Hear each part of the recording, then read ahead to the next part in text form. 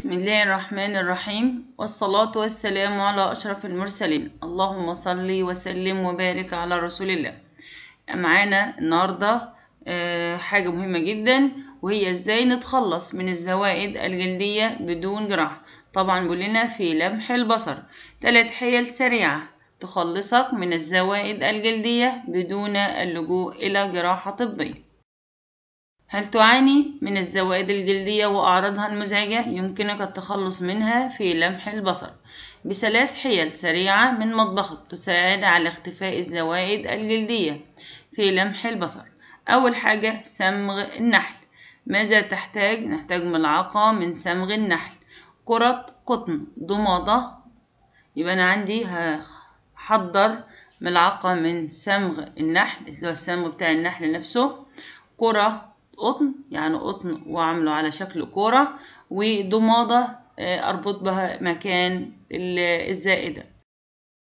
نعمله نضع صمغ النحل دنك على المنطقة المصابة وقومي بتغطية الزوائد الجلدية بقطعة قطن.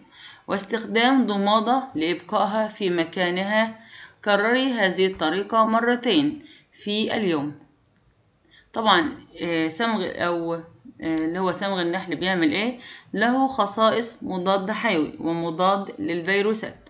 لقد وجد أنه يحفز جهاز المناعة. بعد كده عندنا زيت الخروع النقي. بنحتاج إلى زيت الخروع النقي.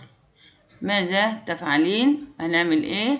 انشري زيت الخروع على الزوائد الجلدية. ودعيها تجف في الهواء وكرري هذا اتنين لثلاث مرات في اليوم. طبعا ليه زيت الخروع لأن زيت الخروع طريقة جيدة لنسيان البثور إلى الأبد له خصائص مضادة للفيروسات وغني بمضادات الأكسدة التي ستساعدك على محاربة فيروس الورم الحليمي البشري. بعد كده عندنا خل التفاح اللي هنحتاجه عدة قطرات من خل التفاح وسادة قطنية وبعدين معانا برضو ضمادة. اللي نعمله نقع قطعة أو نقع قطعة القطن في الخل ونضعها على الزوائد الجلدية.